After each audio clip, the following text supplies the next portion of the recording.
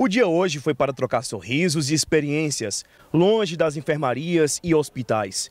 O quarto encontro das mães de crianças com microcefalia ocorreu na estação do governo presente em Caruaru e reuniu dezenas de mães de todo o Agreste. Um momento de encontro, um momento de, compartilha, de compartilhar experiências. Então a gente traz essas mães para aqui do Agreste, que hoje nós temos cadastradas junto com a UMA 60 mães de bebês, aqui só no Agreste. Então a gente traz essas mães para compartilhar, para conversar. Diversas atividades foram oferecidas, como palestras, rodas de conversas e serviços de beleza. A gente unifica as informações, né? a gente traça objetivos, a gente identifica as lacunas e administra um caminho para encontrar melhorias.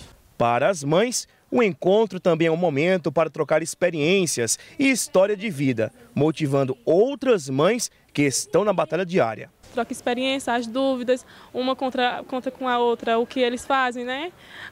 Quanto mais adoece, assim vai trocando as experiências. A gente aprende nossos direitos, é, rever as pessoas, as amigas. Enquanto o evento está acontecendo, os estudantes de medicina estão aqui com as crianças interagindo. Para eles, esse contato é de suma importância a gente é aqui, lidando com os pais, percebendo quais são as carências, o que é que a gente pode fazer com essas crianças para que elas se desenvolvam, é, quais são as perspectivas e expectativas dos pais para com as crianças e para com a gente que é médico. Então, esse desenvolvimento é muito legal.